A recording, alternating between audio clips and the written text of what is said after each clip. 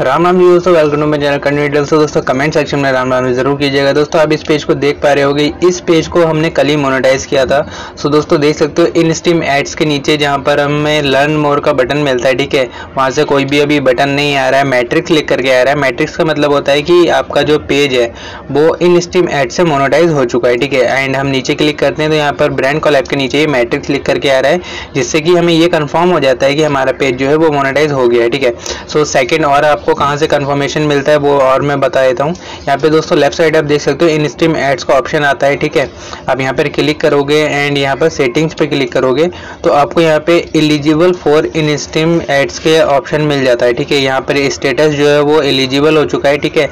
इसका मतलब होता है कि आपका पेज कन्फर्म हो गया है कि इन स्ट्रीम से ये मोनोटाइज है, ठीक है? सो दोस्तों, मैं भी आपको बताऊँगा कि आपको क्या क्या सेटिंग्स करनी है मोनोटाइजेशन के बाद एंड कहाँ से आपको क्या क्या चीज़ें चेक करनी होती हैं। सो दोस्तों एवरीथिंग मैं आपको बताने वाला हूँ एंड दोस्तों, कुछ इंपॉर्टेंट टिप्स भी आपको देने वाला हूँ। तो वीडियो को पूरा देखिएगा वीडियो को पूरा देखोगे तो क्या होगा, आप इंपॉर्टेंट चीज़ें जो हैं वो अपने पेज पर कर पाओगे एंड अपने पेज को आप लाइफ टाइम मतलब कि एक सिक्योर कर लोगे, एक सिक्योरिटी बन जाएगी कि हाँ कभी भी मेरे पेज पर कोई प्रॉब्लम आएगी तो एक मेरे पास बैकअप होगा पेज को ठीक करने के लिए। सो दोस्तों आपसे एक ही रिक्वेस्ट की वीडियो को लाइक कर दीजिएगा, अगर आपको पसंद आए तो एंड दोस्तों वीडियो को शेयर ज़रूर कीजिएगा। बहुत सारे लोग इस चीज़ को सीख पाएँगे, आप शेयर करोगे तो एंड मुझे भी सपोर्ट मिलेगा। एंड दोस्तों, जो मेरे चैनल पर नए नीचे लाल वाला बटन दबाया कर दीजिए, आपको सब्सक्राइब एंड बेल आइकन ज़रूर दबाएगा जिससे न्यू वीडियो की अपडेट आपको हमेशा मिलती रहे। सो दोस्तों स्टार्ट करते हैं। सो दोस्तों, अभी हम मोनेटाइजेशन पर आते हैं। एंड दोस्तों, सबसे फ़र्स्ट सेटिंग जो आपको करनी है, वो मैं आपको बता देता हूँ, ठीक है? एंड ये सेटिंग बहुत ज़्यादा इंपॉर्टेंट है। क्यों है इंपॉर्टेंट ठीक है फर्स्टली आपको मैं वो बता देता हूँ कि ये इंपॉर्टेंट क्यों है। दोस्तों इंपॉर्टेंट इसलिए है कि बाई चांस अगर कभी कुछ ऐसा होता है कि आपका जो ये आईडी है, ठीक है? अब आईडी जो है, ये अगर आपका डिसेबल हो गया ठीक है डिसेबल मतलब कि बंद हो गया डिलीट हो गया, कुछ भी हो गया इस आईडी के साथ, किसी गलत एक्टिविटी की वजह से कुछ भी हो गया कि आपका इस आईडी पर कोई एक्सेस नहीं रहा, ठीक है? आप इस आईडी को लॉगिन ही नहीं कर पा रहे हो। तब आप क्या करोगे? आपका पेज भी बेकार हो गया, आपकी मेहनत भी बेकार हो गई, ठीक है? आप जो इनकम कर रहे थे या फिर जो भी जनरेट हो रहा था, सब कुछ बेकार हो गया, क्योंकि पूरी मेहनत में पानी फेर गया, ठीक है?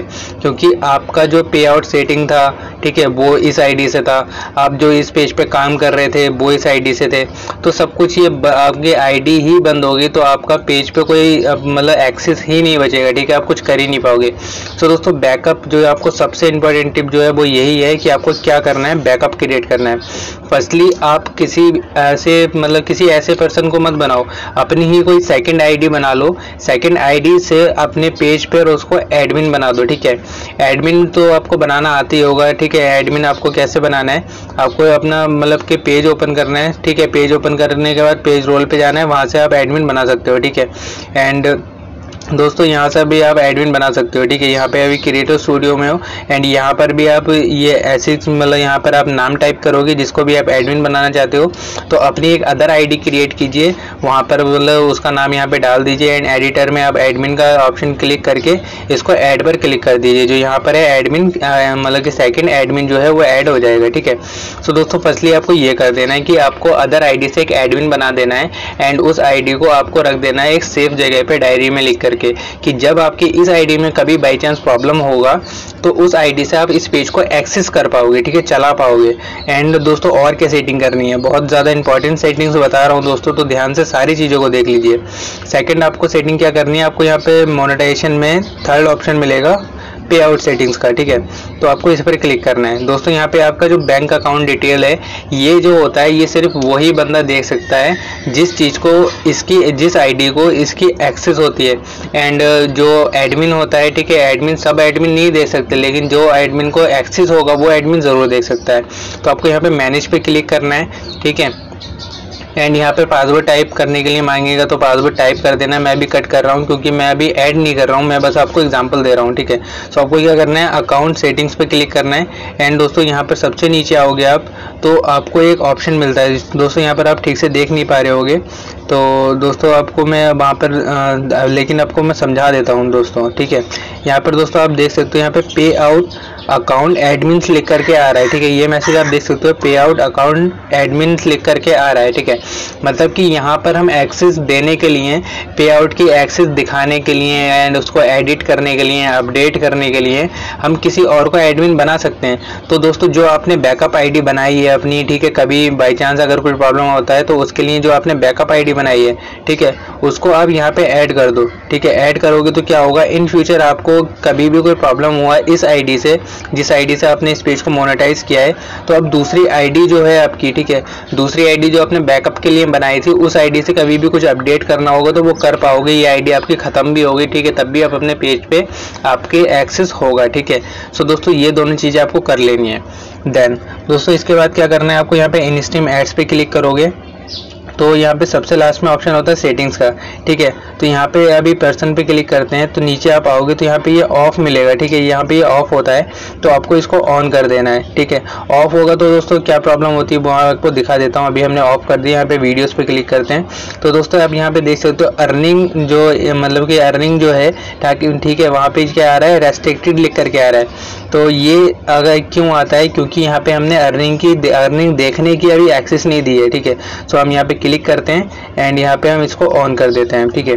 हमने ऑन कर दिया हम यहाँ पे दोबारा वीडियोस पे आते हैं एंड यहाँ पे रिफ्रेश कर देते हैं इस पेज को। सो so, दोस्तों अभी देख सकते हो अभी हम रिफ्रेश करके दिखाते हैं आपको कि यहाँ पे इसके बाद क्या शो होता है। तो जो रेस्ट्रिक्टेड लिख करके आ रहा था वो यहाँ पे हेड किया है। जब ये डॉलर ग्रीन हो जाएगा ठीक है अभी अंडर रिव्यू है ठीक है?